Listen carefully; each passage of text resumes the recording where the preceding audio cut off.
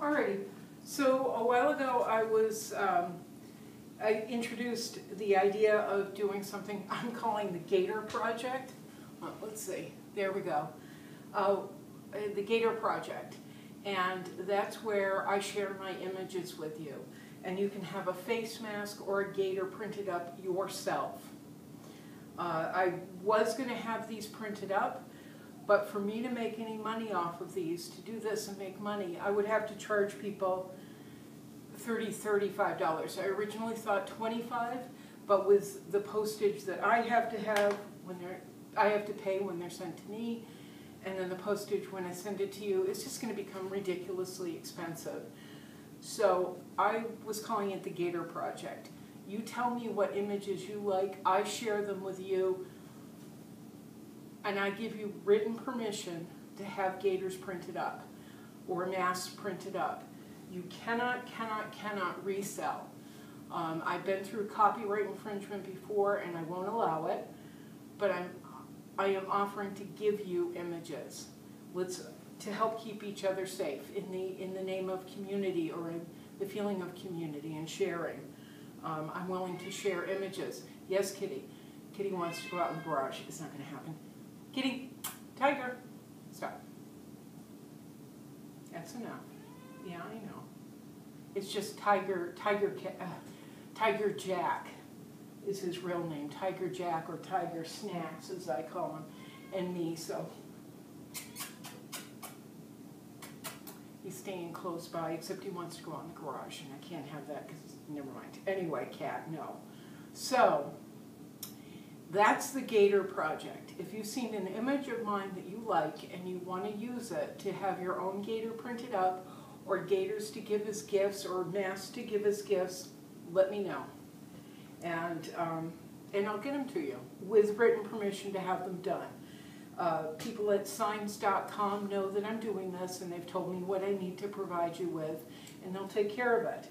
This runs, if you do it yourself, this runs little under $22 with shipping to get one.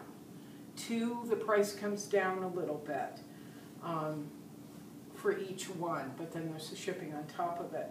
There was something else I was going to tell you. I can't remember. Anyway, we're going to do one of those unboxing things, which I think are silly, but people love them.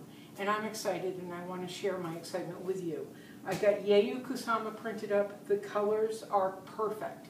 And I can't begin to tell you how hard it is to get my colors printed. It's so difficult. It's a lot of back and forth. It's extremely difficult.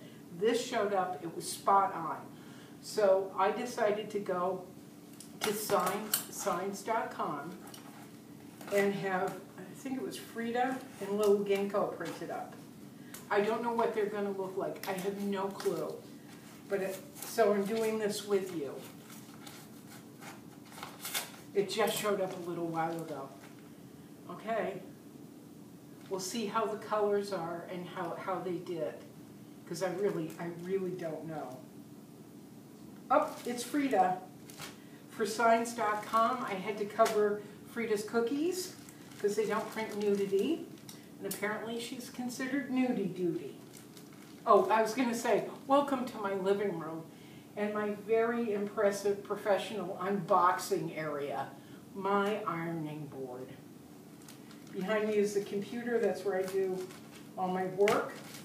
And right now I've got my Patreon page up because I had to look at something. But right now we're going to take a peek at Frida. Okay, fingers crossed. Fingers crossed, because I've got a lot of people who liked the Frida image and they wanted to get this done. Holy, oh, whoop! There's a little ginkgo. I don't want to unwrap them both at the same time.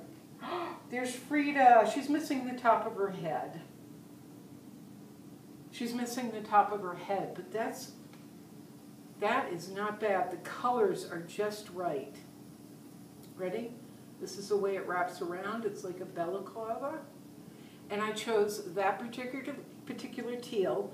If you go to signs.com, you can um, actually play with the image and you can play with the colors that are going to go down the back where the image ends or wherever the image ends. And I'm going to come into the camera. I chose this particular teal, like it's a really light teal,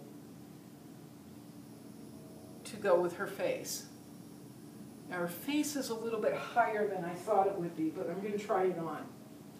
With Yayoi Kusama, I kind of folded a little bit to maneuver her face down so you can see it, so I don't just have like red hair here.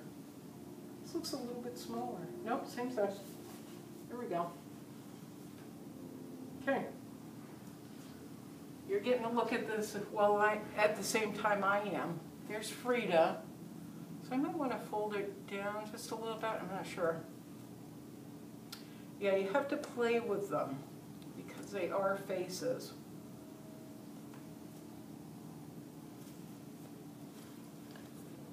But there's Frida. I can't really see it.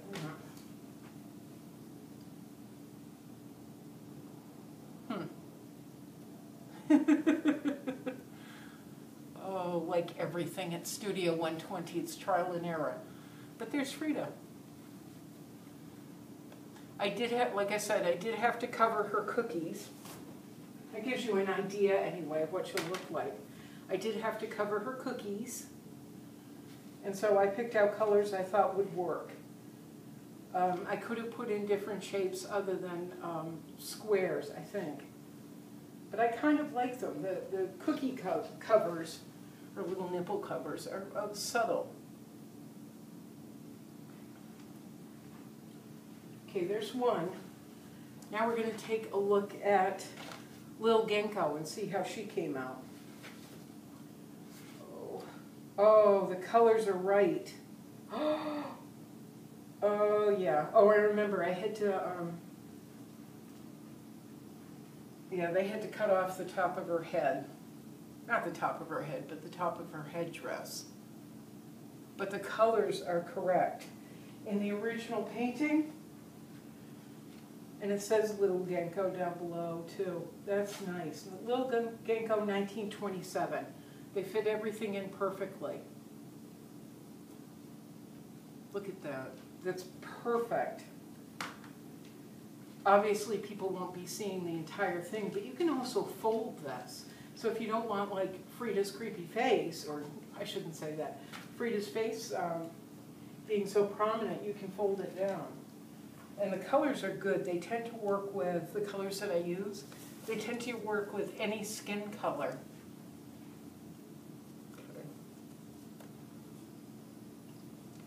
Covering the mouth and nose. There's little ginkgo.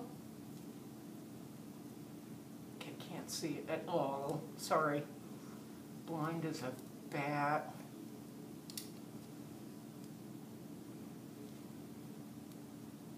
Yeah, you can play with this, you can fold it different ways.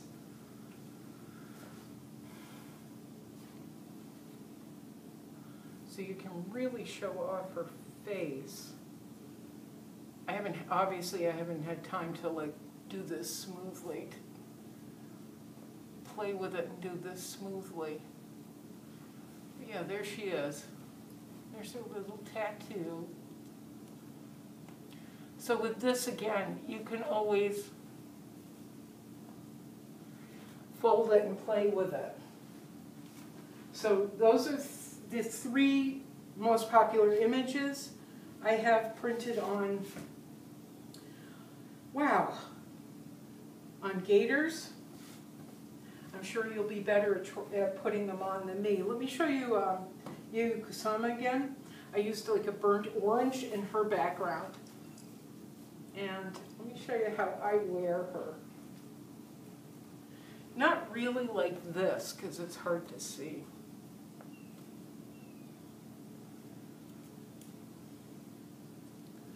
I tend to wear her down like that.